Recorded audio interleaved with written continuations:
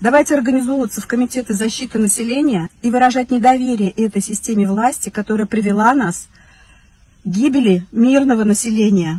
Всех депутатов и, силовик, и силовые структуры требовать отправить в зону боевых действий, а для населения провести честные, открытые выборы и выбрать открытым голосованием действительно народных, честных людей.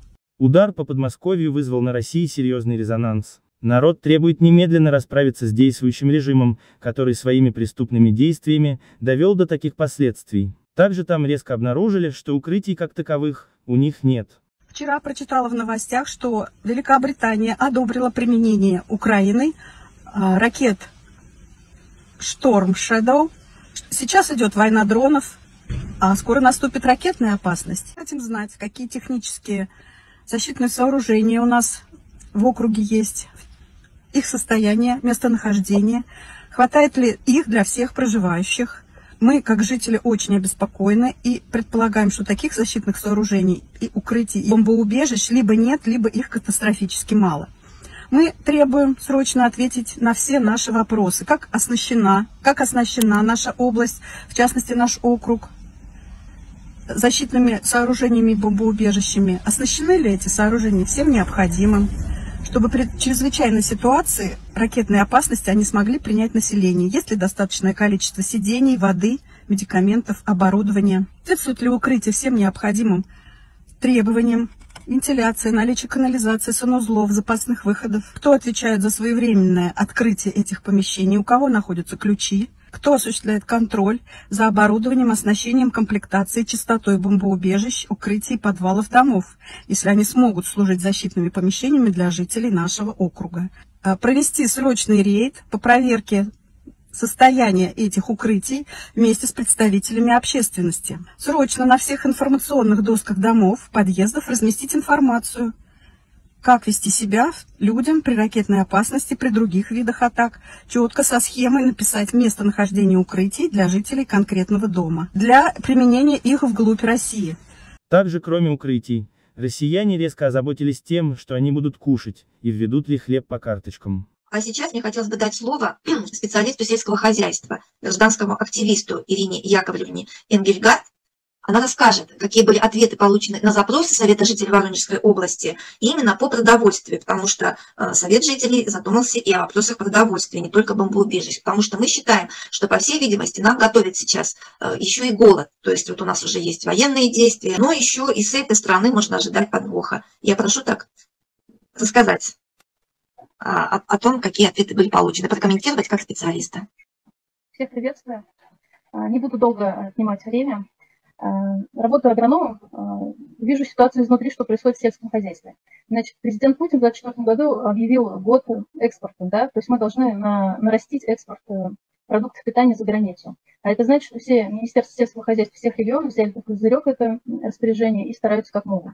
Воронежская область, Курская, Белгородская область в этом году пострадали от возвратных заморозков, а также от почвенной засухи и введены ЧС именно по тому, что посевы погибли, либо частично они э, каким-то образом пострадали. Э, при этом у нас экспорт из этих областей, экспорт именно продуктов питания идет, э, ну, просто течет рекой, все продукты питания уходят за границу. Например, Воронежская область кормит 22 страны, то есть экспорт идет в 22 страны. Белгородская область поставляет продукты питания в 24 страны. Мы в Аграрном совете разработали документ, именно запрос по продовольственной безопасности. Мы спросили, что что, что происходит да, с продовольствием. Будет ли из-за того, что введен ЧС, будет ли э, прекращен экспорт. А, Минсельхоз Воронежской области сказал, что экспорт э, прекращаться не будет.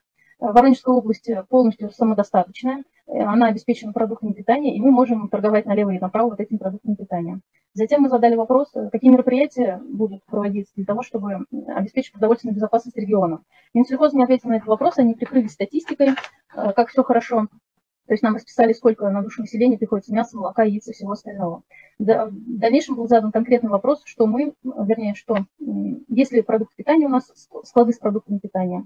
А, также был задан вопрос, если ЧС будет введено, будет введена карточная система выдачи хлеба, если продукты питания для общеобразовательных учреждений, для больниц, для тюрем. И ни на один э, вопрос Минсельхоз Воронежа не ответил. Я делаю вывод, что эта тема табу. То есть это та тема, которая не должна обсуждаться в обществе. Тем временем в той же Воронежской области сейчас лесные пожары, для тушения которых применяют даже самолеты. А значит, больше урожая и продовольствия на России пропадет. Скорее всего, в 2025 году россиян ждет голод и хлеб по карточкам. Ведь всю имеющуюся еду они продают на экспорт, не делая никаких запасов. Между тем, на России продолжают жаловаться на беспредел московского режима и его прихвостней полицаев. Там люди призывают объединяться, чтобы дать отпор кремлевским АПГшникам. Этот ролик не записывать я не могу. У меня такое возмущение поднялось.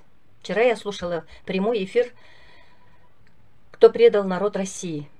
И там говорили про Алину Лушавину, которые забрали 20 силовиков из дома в масках и били ее. И вот хочу рассказать свою историю. 7 сентября я сфотографировалась с плакатом в защиту Алины, ставила в интернет. Мне двое полицейских пришли. Принесли мне предупреждение 54 статья. Начали расспрашивать. А я им сказала, 51 статья – я говорить ничего не буду. Принесли мне предупреждение. Оставьте и до свидания. И они ушли. И вот хочу обратиться к народу. Давайте станем народом. Моя милиция меня не бережет. Прошли те времена. Теперь по любому поводу могут прийти каждому. Давайте объединяться и создавать советы Моей маме, пенсионеру, повысили социальную выплату в 2024 году аж на 90 рублей. А депутаты повысили себе зарплату э, за 23 год до 800 тысяч рублей. То есть в 22 она достигла 400 тысяч рублей, в 23 уже 800. В 24 пока не знаем, какая у них прошла индексация. Сами себе пишут законы, сами увеличивают зарплату, сами жируют, пируют. А мы все это позволяем с вами. Поэтому очень важно спросить с депутатов Государственной Думы отчет за их райское наслаждение – за наш счет. В Белгородской области снова засветились российские боевики-мародеры, которые на этот раз заняли усадьбу купца Корнева в Валуйском городском округе. Это взлом. Говорит, не получилось у меня. Эх, блин.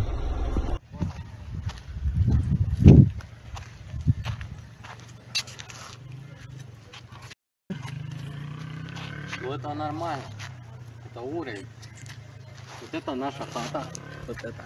На сегодня, да? Шашлык жарим. Не, мы тут всегда живем. Между тем, российские боевики продолжают жаловаться на массовое кидалово со стороны Кремля и говорят, что жалеют, что подписывали контракты. Теперь они остались без денег и с испорченным здоровьем.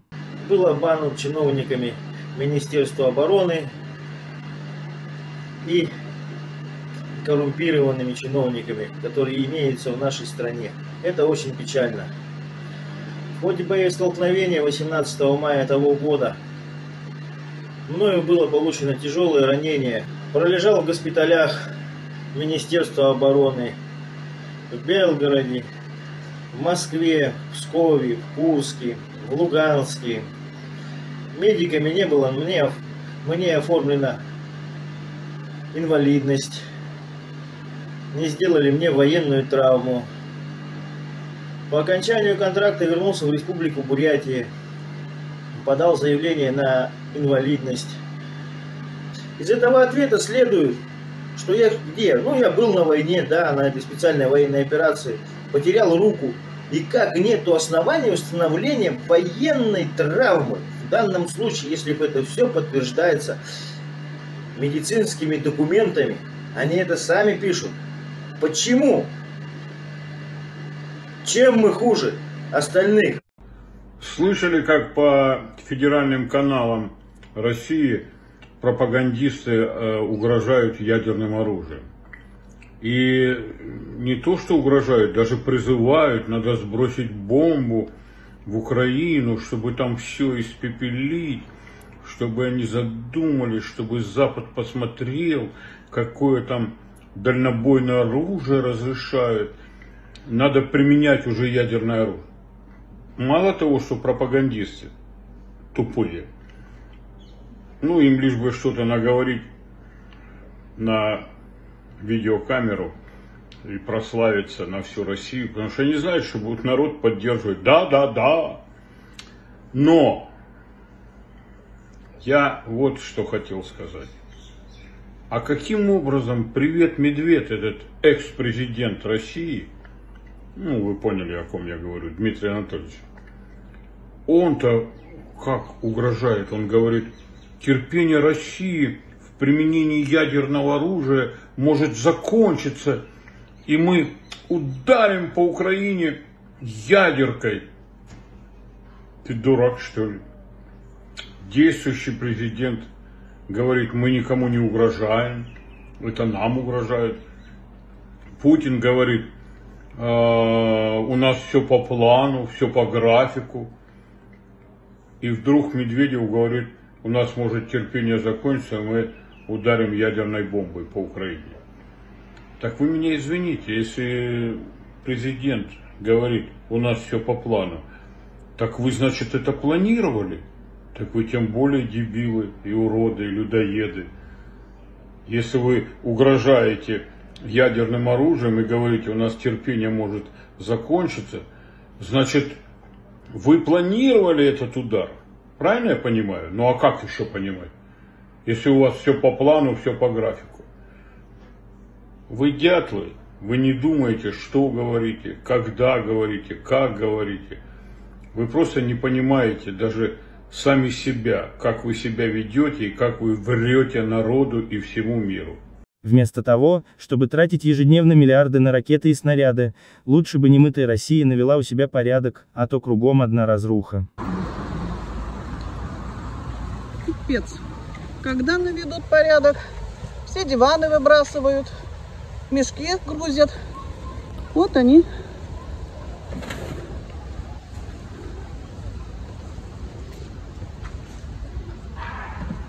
Вот, пусть так молодого человека уберем. Вот привозят на тачках. И, у- и пошли. Вот они привезли, выбросили диваны. Ставьте лайки, подписывайтесь на канал, жмякайте колокольчик. Обязательно оставляйте комментарии. Для помощи каналу ссылки в описании.